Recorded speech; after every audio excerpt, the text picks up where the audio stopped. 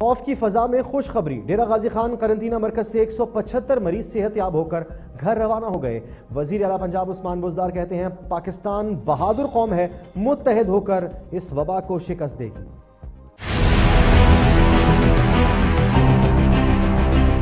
پنجاب میں corona virus کی رفتار میں تیزی، وزیر اعلیٰ پنجاب عثمان بزدار نے خوف میں مبتلا عوام کے لیے خوشخبری سنا دی۔ ٹویٹر پیغام میں کہا کہ ڈیرہ غازی خان کرنٹینہ سے منفی رزلٹ والے سات سو پچپن زائرین پہلے ہی گھر پہنچائے جا چکے ہیں۔ اب صرف چوہتر زائرین ڈی جی خان قرنطینہ میں موجود ہیں۔ آٹھ سو انتیس زائرین چودہ مارچ کو ڈی جی خان قرنطینہ میں آئے تھے۔